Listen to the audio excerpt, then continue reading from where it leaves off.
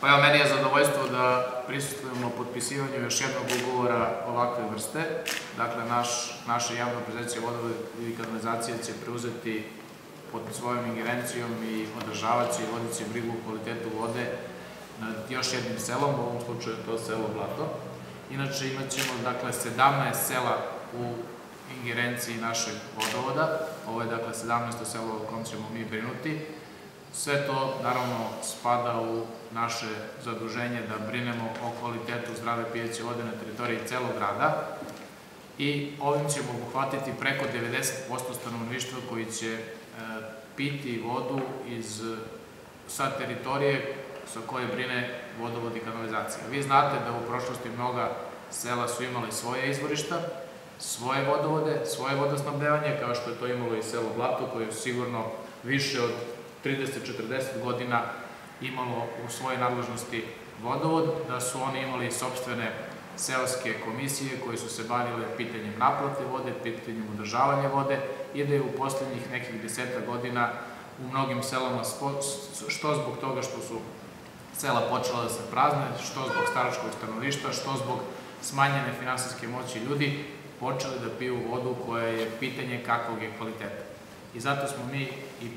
posle donošenje odluke o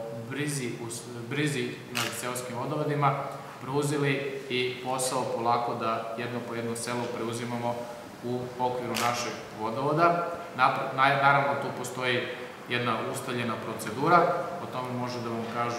mogu da vam kažu i direktor vodovoda i predsednik mesta zajednice, dakle, osim što mi ispitamo u kakvom je stanju taj vodovod i osim